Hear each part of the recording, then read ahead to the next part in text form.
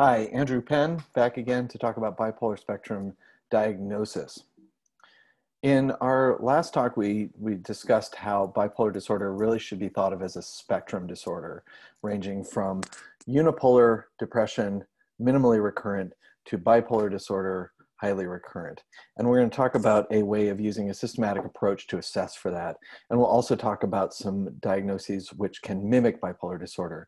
So the I'm going to teach you the STEP-BD approach. STEP-BD was a large National Institutes of Mental Health study in the early 2000s looking at how to better diagnose and treat bipolar disorder. And we're going to talk about how to differentiate it from some of the most common uh, conditions where it, with which it has overlap, which is PTSD and borderline personality disorder, and also some medical diagnoses and comorbidities that go along with bipolar disorder. So here's the concept of a bipolar spectrum laid out graphically. So again, the most convincing is bipolar 1, people that have highly recurrent manic episodes and depressive episodes. And then bipolar 2, bipolar NOS. NOS is now often referred to as unspecified in DSM-5. And then these less convincing bipolar uh, presentations, which may look like just recurrent major depression. So this is what we might consider uh, what might have historically been considered ma manic depressive illness, that anybody who has recurrent mood episodes, regardless of if they are uh, depressive or manic in nature, would be considered on that spectrum. So we'll talk about how to break this down. Now you see those numbers there. Uh, these are not psychometrically validated numbers, so I wouldn't put this in your, your chart notes, for example, but it kind of gives you a ballpark idea if you use this system of uh, thinking about how bipolar somebody might be. So thinking of that in relative degrees. I want to introduce you to one of my old patients. She was a 30 year old woman who was training to become a therapist. And she came to me with an unusual complaint at the time because bipolar disorder was not as well known in the general public. She said, I think I might have bipolar disorder. So I said, well, let's explore that. And she said her history uh, in recent months had been to have this kind of chronic low mood and loss of interest and, and pleasure in things, uh, mixed with some anxiety, some insomnia, and when she didn't sleep well, she was tired. And the pattern, which uh, you'll start to see is really important, was that she had a couple of weeks of depression that would start and end with no clear precipitant. And that's important because that helps us to differentiate a mood episode which may be coming more from the person's biology compared to somebody's mood episode that's coming more from their circumstances in their life. Um, and at the time I saw her, she was doing pretty well. Her history, which is also very important, it was that she had depression for the first time at age 13. It was untreated, went away on its own. She had another episode of depression at age 21 for which she did have some antidepressant treatment. And since then, she'd sort of had this on again, off again dysthymia or low mood. She did have um, a trauma at the age of 25 in the form of a date rape. Um, pertinent negatives here uh, no substance abuse, no suicidal ideation, no psychosis. She was already in treatment. Um, of concern here, her mother had schizophrenia, her father had bipolar disorder. So a lot of family loading here. And she's apprehensive around medication. So I said, what would you like to do? She said, I'd really like to see if I can get my sleep better. So I offered her some trazodone, which is pretty common treatment. She said it, it, didn't help her very much, so we stopped that. And I started to think that depression was maybe more pertinent here than anything. So I offered some mirtazapine because it also has that capacity for helping sleep. And it did help. It helped with her mood as well, but only for about two months. And then the benefit dropped off uh, quite quickly and she became depressed again. She said, you know, I remember when I was being treated when I was 21, uh, I had a, a, course of Paxil, which seemed to help. And so I gave her some of that and at a very low dose, she uh, said she started to have increased energy and uh, decreased need for sleep and racing thoughts that had a real kind of negative emotional tone, a dysphoric tone. And she said, you know, I think this is what happened to me before. And so I, at this point, I started thinking more about bipolarity. So I offered lamotrigine or Lamictal. She got a rash. We'll talk more about uh, what that rash probably was when we get to the pharmacology module. Uh, so I stopped it and I put her on lithium, which worked very well for her. She still has some had some uh, depressive episodes, but they're nowhere near as intense as they once were. So let's use this framework to break down these different areas of the presentation. And the first thing we look at is the age of onset. Now, a, a, footnote here, each of these five categories can score up to 20 points. So you'll see I've layered this out in the most convincing uh, characteristics of each of these categories. And the point of this exercise is not to have you remember each of these specific um, criteria because it's too much to remember. You can always use these notes uh, from these slides to, if you want to go back over one of your patients with a fine tooth comb. But what I really want you to take away from this is sort of the big picture, which is which of these five areas is most convincing for a bipolar disorder. And those are the ones that score 20 points. The fewer points that you get, the less likely it is to be a bipolar disorder. So people that have classic bipolar 1 typically begin to manifest that between the age of 15 and 19 years old, so usually high school years. And that gets us 20 points. If your first episode, by first episode I mean it could be depression or it could be mania, if that occurs but before the age of 15 or in your young adult years of 20 to 30, that uh, would also be suspicious for bipolar disorder in this particular category. The older you get, the, the, the bad news, you get more gray hair. The good news is if you have a first episode of a mood disorder, the less likely it is to be a bipolar disorder. Then we look at what does the characteristic, what are the characteristics of the episode, of the mood episode. So people that get full blown mania, by that I mean they're grandiose, they're euphoric, they're going for days without sleep. That's most convincing of bipolar one, and that's why this gets that full 20 points here. People that have more of a mixed presentation, so that thing where they're sort of have depressed uh, mood episodes but have a lot of energy in their mania, that is also suspicious for bipolar disorder, but not quite the slam dunk. And this starts to capture people who are probably going to be in that bipolar 2 category of assigning 10 points to people that have clear hypomania or the people who kick into mania with antidepressants. And then again, the lower down we get, the murkier it is, and the fewer points this scores. Uh, and this is a nod to people that may have that recurrent depression, but have no history of mania whatsoever. Gives, gives us only two points.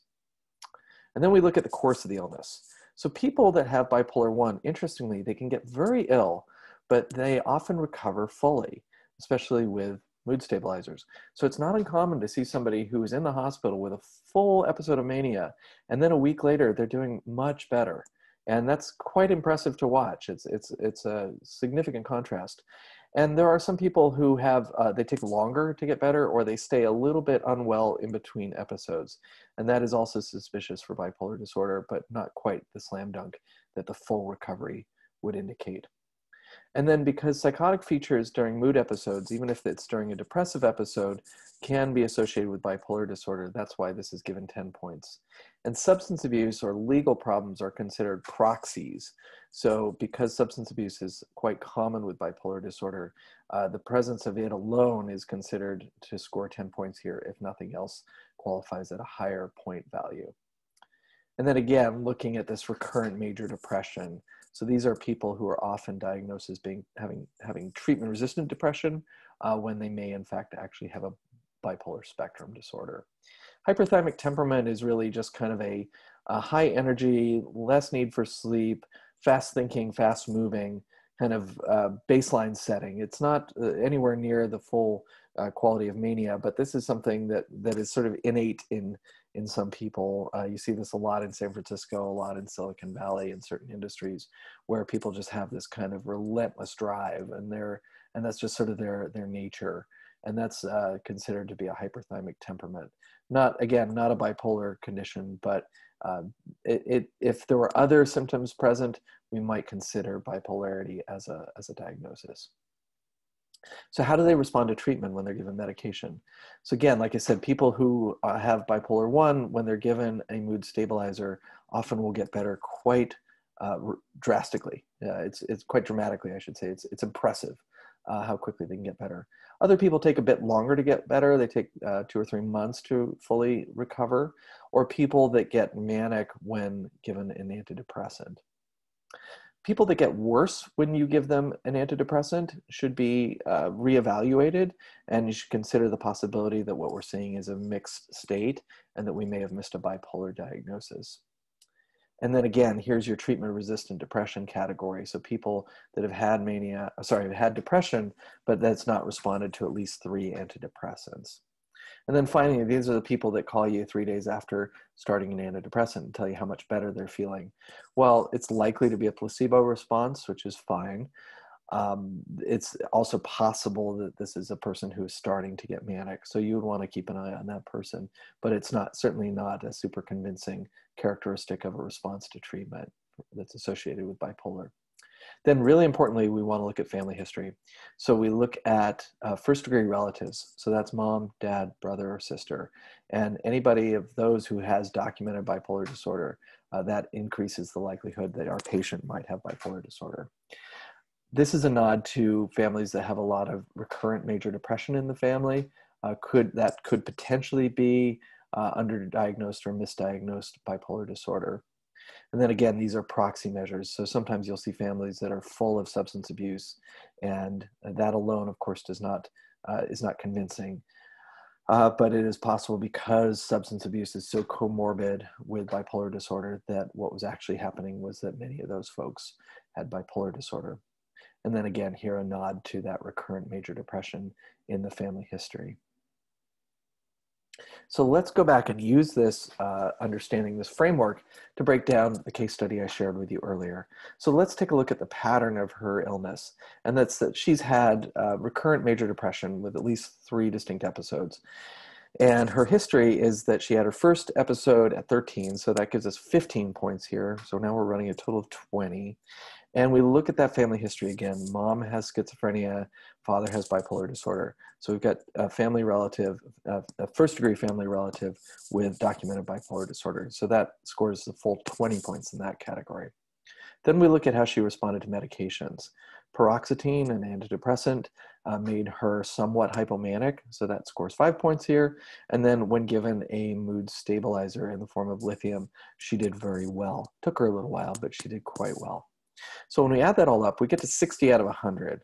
Now, 60 out of 100, as you see here in the sort of ballparking measure, puts us right in the middle of the bipolar spectrum, which is really about where she sits. She's in that sort of un, um, the sort of uh, not otherwise specified, um, undefined bipolar disorder. Uh, she's certainly not bipolar one, but she has enough characteristics here. And she, and at the end of the day, what matters is that she responded well to the treatment that she was given, which was a mood stabilizer, and it helped her a lot more than an antidepressant seemed to be helping her. Now, when we think about other comorbidities, especially when we're much further down on this bipolarity index scale, we want to not only consider recurrent major depression, but we also want to consider the person's personality style or even a personality disorder and the possibility of the presence of trauma, particularly complex trauma. So let's take a look at that differential. So we've gone over bipolar disorder. I think you're familiar with that at this point. The key thing I want to point out here is that it's an episodic course. So this is kind of a waxing and waning condition. Now, people with borderline personality disorder, we conceptualize this more through a sort of psychodynamic uh, or self psychology kind of framework where this has much more to do with the person's relationship, not only with other people, but with their own inner world. And that sort of unstable sense of self and the ensuing problems that come in relationships. Now, people with borderline personality they, disorder, they can have this sort of waxing and waning course, but it tends to be more of a chronic course than bipolar disorder, which can have pretty clear yes, this is a bipolar episode. No, there is not a bipolar episode present. With people with borderline personality disorder, it, it tends to be uh, more, more chronic. Now, people with trauma, uh, now your classic understanding of, of, PTSD with a criterion A event where the person was exposed to a life-threatening situation, um, that is often characterized by, of course, as you know, hypervigilance, avoiding triggers of the trauma, uh, having re-experiencing events in the form of nightmares or flashbacks, and then a sort of a numbing that can occur. Now, what we're talking about here is, is often complex trauma, and complex trauma, while not defined in the DSM, is thought to be the result of more um, unstable early childhood experiences, usually with a caregiver who is unpredictable, and that often creates a lot of these interpersonal problems. But you can see that there's a lot of overlap between these three conditions uh, with regards to impulsivity and irritability, with these transient mood shifts that can control that can uh, involve loss of anger control, even paranoia, and suicidal behavior. Unfortunately, is problematic in all of these conditions. So it's also important to remember that just because you have one of these doesn't mean you can't have the other. So there is often a lot of overlap here. As one of my teachers told me, you know, remember a dog can have ticks and fleas. Uh, just because you've got one doesn't mean you don't have the other. So this requires very careful diagnosis. Now the problem with us misdiagnosing this is when we have a prescription pad, we tend to go looking, it's like a hammer, and we tend to go looking for nails. And the problem is, is we often um, we often define a nail as this bipolar two diagnosis, and unsolicited opinion. I think bipolar two is probably the murkiest diagnosis in the entire DSM, and I think often what we call bipolar 2 is this complex PTSD or disorders of extreme uh, stress not otherwise specified is another term that's sometimes used, or this borderline personality structure. And these folks often have a, a, great difficulty tolerating emotional distress. And so, what do we do? We take our hammer out and we throw a lot of meds at it. We usually use uh, multiple medications, which often are not terribly effective. And so, what really this is like is sort of like trying to drive a nail, uh, drive a screw with a nail. And while you can do it, uh, it's not recommended and it's kind of ugly. And so, what you really need, you need a screwdriver. And the screwdriver in this case is using evidence based psychotherapy for PTSD, targeting specific symptoms. So, if the person has real problems with insomnia, go ahead and treat that. If they have clear depression, go ahead and treat that. But a lot of times, what you're actually doing is is deprescribing. You're getting rid of medications that are have not really helped them, but have been uh, piled on over the course of their their condition. And a lot of people are afraid to talk to people with uh, about having a borderline personality structure, and that's too bad because honestly, most patients I've talked to have never heard the term. Uh, and what ends up happening is we think this is a bad thing because we treat it like a bad thing. Uh, we use this as a pejorative in our in our break rooms and uh, in rounds. We talk about people being borderlines, and you know, the reality I find is a lot of people who get diagnosed or get considered to be borderline uh, in in inpatient settings often have other personality uh, disorders such as uh, dependent or the unfortunately termed histrionic, uh, which is a very emotionally uh, expressive uh, kind of personality disorder. A lot of sort of distress intolerance gets embedded into there. So even the term borderline is used inaccurately a lot of the time. But when we when it is there, I believe we should diagnose it uh, because otherwise, what ends up happening is we treat it with mood stabilizers, which doesn't usually work very well. The person doesn't get referred to something like DBT, and that's a real loss. Now, how should we do this? Well, first of all, realize that you may be carrying around a lot of biases around that diagnosis uh, because, you know, a lot of times folks with borderline personality disorder, if you've worked in a hospital, are challenging. Um, and a lot of times we have a lot of negative countertransference towards them. So it's important never to diagnose when you are upset, uh, diagnose when the iron is cold. And when you, uh, if you're going to diagnose somebody with this condition, what you need to do is, if you just tell somebody you have borderline personality disorder, that's really meaningless. Most people will say, borderline of what? Um, so I break it down. I say, you know, it sounds like um, in your relationships, which is usually where it shows up, um, when you get upset, it's often because you feel like the person's going to leave or that they're not available to you. And when you get in that upset state, you can't turn off your upset. So you resort to things like cutting on yourself or saying you're going to uh, uh, kill yourself in order to manage that distress. And that creates a lot of problems for you. And usually at that point, the patient's like, oh, you know me. How do you know this so well? Okay. So I will use that as a segue towards uh, DBT. So I'll say, you know, the good news is we have a treatment for this. Um, it doesn't come in the form of a pill. It's a type of therapy which helps people develop more dis- more tolerance for distress, more ability to regulate their emotions, and then to put it into play with uh, in their relationships. So again, you can't diagnose any of these things from a snapshot. Somebody walking into my office with bipolar depression is going to look like they just have plain old depression, unless I take the long view. Somebody who comes in uh, just upset with their partner may have borderline personality disorder, but unless I ask about the last three or four relationships they were in, I won't see the pattern. So again, psychiatry is pattern recognition, and psychi- psychiatric diagnosis is never based on one symptom alone. If you only have a few minutes to screen for bipolar disorder, I think these are the highest yield questions. I ask about changes in sleep and activity because frankly, nobody remembers their mood. I don't remember what kind of mood I was in last week, let alone last year. And so I ask about specific behaviors. I say, were there times when you needed less energy, but you had, uh, but you didn't need to sleep as much. And what was happening during that time? Were you more sped up? Were you more irritable? That's often quite helpful for identifying uh, cases where you need to ask more questions. And then get the family in the room. Uh, ask them about it because a lot of times patients will will forget certain episodes, but their spouses won't. And so don't, don't do this behind people's back. Invite them into the next session. Have an open conversation where you're asking about things like their sleep patterns and behaviors that were out of the ordinary, like spending a lot of money or taking a lot of risks. Anxiety is a very common co-traveler with bipolar disorder, and it's important to treat both. A lot of times if you get the mood stabilized, the anxiety will drop off considerably, but you can see here there's high comorbidity between anxiety and bipolar disorder. Also, substance abuse. Bipolar 1 is the most highly comorbid with substance abuse of all the DSM, uh, what we used to call Axis 1 diagnoses. And so uh, you really want, you're often going to end up treating both. And again, when people's mood is stabilized, a lot of times they're not trying to regulate their energy and their mood with substances so much. So sometimes you can see an improvement in both areas with mood stabilization. Now, there are a few medical conditions which can look like bipolar disorder. Probably the most uh, common is an intoxication state, which usually is going to uh, get better as the drug wears off. So, stimulants, of course, can create a manic kind of presentation. And then steroids are notorious for the, doing this, corticosteroids.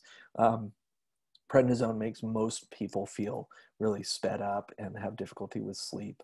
Um, and of course, interferon can cause depressive like symptoms. Somebody who has hyperthyroidism can look like they are manic, as uh, obviously somebody with hypothyroidism can look depressed. And sometimes delirium can have a manic kind of quality to it as well. But those are less common. I would call those zebras rather than the horses, which usually comprise bipolar diagnoses. So in, in summary, I want you to think of this as not as a, a single yes or no category, but rather as a spectrum from people who are definitely bipolar to people who are very unlikely to be bipolar. And I want you to think about ruling out some of these uh, comorbidities, or at least keeping a, an open mind about the possible comorbidities of things like complex trauma and borderline personality disorder. And also uh, bearing in mind that many people with bipolar disorder have problems with substance abuse and anxiety as well. I thank you for your attention.